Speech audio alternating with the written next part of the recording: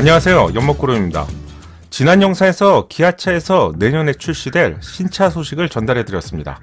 영상을 보시고 현대자동차의 신차 소식도 알려달라고 몇 분이 요청하셨죠. 그렇다면 해야죠. 이번 영상에서는 내년에 출시될 현대자동차의 신차 소식을 알려드리겠습니다. 영상을 시청하기 전에 구독을 부탁드립니다. 신차 소식을 빠르고 정확하게 받아볼 수 있습니다. 그리고 주변에 도움이 필요하신 분들이라면요. 공유도 함께 부탁드립니다. 현대자동차는 내년에 어떤 차량을 출시할까요? 새롭게 출시될 주요 차량을 표로 정리해봤습니다. 출시 일정은 제조사의 상황에 따라서 언제든지 변경될 수 있죠. 감안하고 보시면 좋을 것 같습니다. 첫 번째 차량은 i30입니다. 2019년도 4분기니까요. 사실 지금쯤에 이 차량은 발표가 됐어야 되는데요. 조금 지연되는 느낌이고요. 내년 상반기에 i30가 facelift를 감행합니다. 두 번째 차량이죠. 정말로 정말로 큰 인기를 얻고 있는 산타페입니다. 산타페는 조용히 facelift를 준비하고 있습니다. 출시 시기는 2020년 상반기입니다. 세 번째 차량은 full change죠. 7세대 full change 코드명은 CN7입니다. 2020년 1Q 상반기에 출시가 될 예정입니다. 네 번째 차량입니다. 코나의 페이스리프트 차량은 2020년 하반기에 출시될 예정입니다. 그리고 강력한 디자인으로 얼마 전에 영상으로 알려드렸었는데요. 4세대로 full change되는 투싼이 2020년 2Q 2분기에 출시가 될 예정입니다. 관심이 높을 차량을 중심으로 순서대로 살펴봤는데요. 지금부터 세부적으로 어떤 경쟁력을 갖추고 출시가 될지 살펴보겠습니다. 내년에 출시될 첫 번째 차량으로 i30 facelift로 예상이 되는데요. i30는 2016년에 출시가 되었죠. 따라서 i30 facelift는 시기상으로 보면 2019년도 말에 출시가 되었어야 하지만요. 올해를 넘어가는 분위기입니다. 잘 만든 차량인데도 불구하고 국내에서는 이런 디자인, hatchback 디자인이라고 하는데 hatchback 스타일의 차량은 아쉽게도 비인기 차량에 해당이 되죠. 하지만 유럽에서는 인기가 높은 차량인데요. 해치백을 대표하는 폭스바겐 골프와 맞짱을 뜨고 있습니다. 한마디로 좋은 평가를 받고 있는데요. 해외에서 i30는 고성능 N9까지 출시가 되면서 시간이 갈수록 인기가 더욱 높아지고 있습니다. 탑기어, 아우토빌트와 같은 해외 유수 매체로부터 가성비 최고의 해치백이라는 찬사를 받았는데요. 국내보다 해외에서 더욱 유명한 차량이라고 생각합니다. 내년에 출시될 i30 페이스리프트에서는 플러그인 하이브리드가 출시가 될 예정으로 알려졌습니다. 그리고 출시를 앞둔 i30 페이스리프트가 국내에서 목격되었습니다.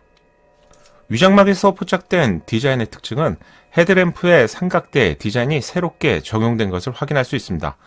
헤드램프의 디자인은 현행보다 폭이 크게 줄어들면서요. 날렵한 느낌을 부각시키는 디자인이 새롭게 적용될 것 같습니다.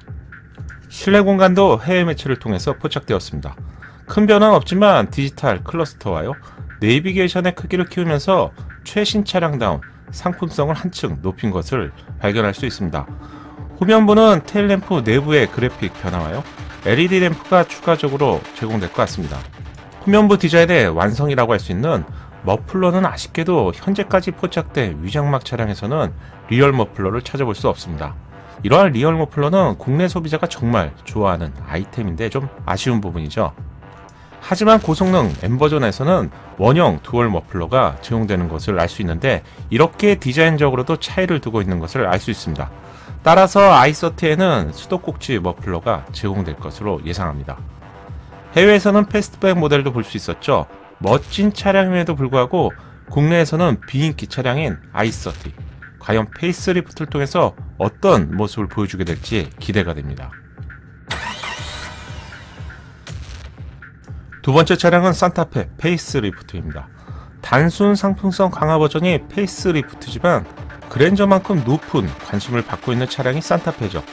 산타페는 국내 차량 중에서 자영업자를 대표하는 포터 다음으로 가장 높은 판매량을 자랑하는 차량입니다.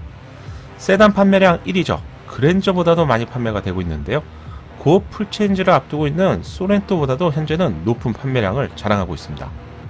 하지만 1위의 자리를 계속 유지하기 힘들 것 같은데요.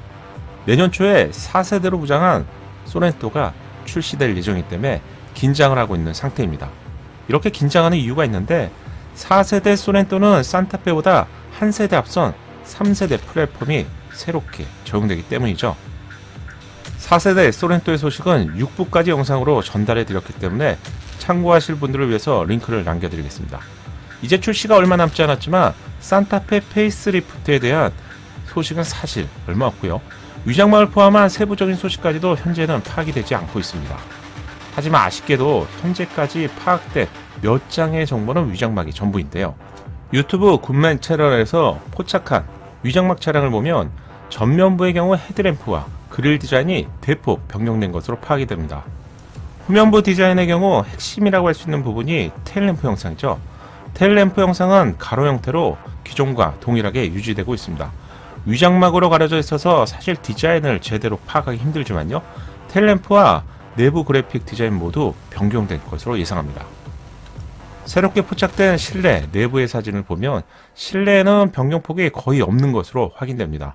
하지만 4세대 소렌토와 당당하게 경쟁을 해야 되기 때문에 편의 사양을 포함해서 사실 많은 부분이 변경될 것으로 예상합니다. 산타페 페이스리프트의 소식은 추가적으로 파악이 되는 대로 영상을 통해서 알려드리겠습니다. 세 번째 차량은 아반떼입니다. 아반떼 7세대의 경우 너무 일찍 출시가 되는 게 아니냐는 이러한 반응을 볼 수 있었습니다. 이런 이유가 무엇일까요? 파격적인 디자인으로 선보인 6세대 페이스 리프트 때문인 것 같은데요. 삼각대를 대표하는 파격적인 디자인은 강한 이미지를 뇌리에서 각인시키게 되죠. 6세대 페이스 리프트를 마치 풀체인지로 착각하는 경향이 있는 것 같습니다. 현행 6세대 아반떼는 새로운 카리스마를 보여줬죠. 동시에 날카롭고 신경질적인 디자인이라는 평가를 받았습니다. 출시를 앞두고 해외에서 7세대 아반떼가 포착되었습니다. 위장막 커버로 촘촘하게 가려져 있기 때문에 세부적인 디자인을 발견하기 힘들지만 헤드램프 디자인은 여전히 삼각대 디자인을 예상해 볼 수 있습니다. 하지만 차이점이 있는데요. 같은 삼각대 디자인이지만 보닛으로 연결되는 부분은 현행보다 부드러운 디자인이 적용되면서 변경될 것 같습니다. 전면부 범퍼 디자인에서 상당히 커진 그릴 디자인을 유추할 수 있었습니다. Le Fil Rouge 콘셉트 디자인을 대폭 확대하여서요. 7세대 아반떼에 적용한 것으로 예상합니다. 위장막을 보면서 생각나는 한 대 차량이 있었는데 바로 4세대 투싼이었죠. 4세대 투싼은 최근 LA 오토쇼를 통해서요. 투싼의 콘셉트인 비전 T를 공개했습니다. 4세대 투싼도 Le Fil Rouge 콘셉트 디자인을 반영했는데 새롭게 출시된 투싼과 아반떼는 전면부 디자인에 있어서 상당히 유사한 디자인이 적용될 것으로 예상합니다. 소나타와 그랜저의 라이팅 디자인이 새롭게 적용되었는데요. 당연히 아반떼도 이러한 lighting 디자인이 새롭게 적용될 것으로 예상합니다. lighting 디자인은 현대차 그룹의 디자인, 아이덴티티를 구축하는 과정에 있어서 중요한 역할을 하게 될 것으로 예상합니다. 이러한 lighting 디자인은 실제 도로에서 본다면 시선을 집중시키는 유니크한 디자인이죠. 현대 자동차의 존재감을 잘 보여주는 디자인이라고 생각합니다. 빠른 신차 예상도를 제공하는 유튜버 수리 부엉님이 아반떼 예상도가 공개되었습니다. 현행보다 멋진 디자인으로 탄생할 7세대 아반떼의 모습을 예상해 볼 수 있습니다. 동시에 비교해 보면 같은 삼각대 디자인이라고 해도요. 어색하지 않고 세련된 느낌을 줄 수 있을 것 같은데 기대해 보고 싶네요. 7세대 아반떼는 준준형 세단 최초의 오토홀딩과 같은 기능을 포함될 것으로 예상합니다. 또한 최신 자율 반자율 주행 기술이죠. 그와 함께 최첨단 편의 사양이 새롭게 적용될 것 같은데 기대감이 한층 높아지는 것 같습니다. 셀토스가 출시되기 전까지만 해도 티볼리와 함께 소형 SUV 시장에서 주인공 역할은 코나가 차지했었습니다. 하지만 너무 강력한 셀토스가 출시가 되면서 코나의 역할이 한층 줄어들게 되었죠. 코나도 facelift를 통해서 상품성을 대폭 상승시킨다는 전략을 가지고 있습니다. 출시 시점은 2020년 하반기로 세부적인 변경사항은 현재까지 베일에 가려져 있습니다. 예상해 볼 수 있는 변경사항으로요. 코나 facelift에서도 10.25인치 대화면 디스플레이가 새롭게 적용될 것으로 예상합니다. 해외에서 먼저 공개된 차량과 비교해보면 기어 knob 주변부에 화이트 색상 포인트가 새롭게 적용되었습니다. 또한 floating 타입의 10.25인치 크기의 디스플레이가 핵심 변경 사항이라고 생각하셔도 좋을 것 같습니다. 내비게이션 하나만 변경되더라도 신차와 같은 느낌을 받게 되는데 두 개의 사진을 동시에 비교해 보신다면 내비게이션의 중요성을 실감하게 되는 것 같습니다. 안전사양과 자율주행 장치도 업그레이드가 예상이 되죠. 셀토스와 유사한 수준으로 제공될 것으로 예상합니다.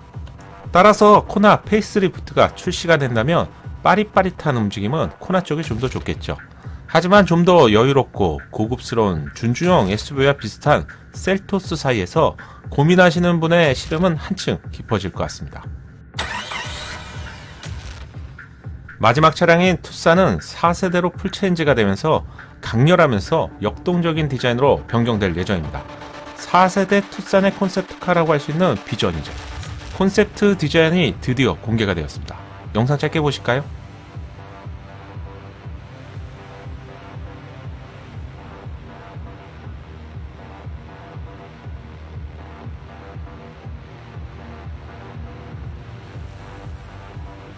위장막 차량과 동시에 비교해본다면 설명이 필요 없을 정도로 상당히 닮은 것을 알 수가 있습니다.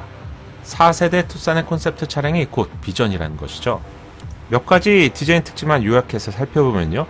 전면부의 디자인을 결정하는 중요한 디자인이 그릴의 경우 삼각형이 서로 마주보는 듯한 입체적인 디자인이 결합되었습니다. 위장막 속에 감춰진 보닛의 라인도 비전과 비교해보면 쉽게 짐작할 수 있죠. 역동적인 디자인의 측면부는 보닛에서 시작된 라인과 캐릭터 라인이 완전하게 위장막 차량과 동일한 점을 발견할 수 있습니다. 독특한 디자인의 3열 윈도를 지나가는 은색 몰딩은 기아차 K5의 디자인 특징이라고 할 수 있죠. 마치 크롬 재질 몰딩처럼 비슷한 디자인이라고 할 수 있습니다. D필러 위에 삽입된 가니쉬 디자인은 양산차에서는 반짝이는 재질의 디자인이 적용될 것 같은데요.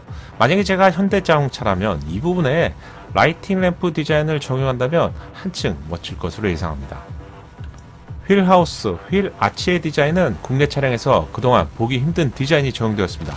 마치 지프의 차량에서 적용된 것처럼 각진 디자인이 새롭게 적용되었습니다. 후면부 디자인은 최신 차량처럼 tail lamp를 길게 연결하는 디자인이 적용될 것 같다고 알려드렸는데요. 위장막 차량과 동시에 비교해보면 tail lamp 디자인이 어떻게 출시가 될지 쉽게 상상해 볼 수 있을 것 같습니다. 이번 영상에서는 현대차에서 내년에 출시될 주요 신차를 알려드렸습니다. 여러분들은 어떤 차량이 기대가 되시나요? 소개해드린 차량은 아직 출시 시점이 남아있기 때문에 연목구름이 신차 소식으로 하나씩 하나씩 알려드리겠습니다.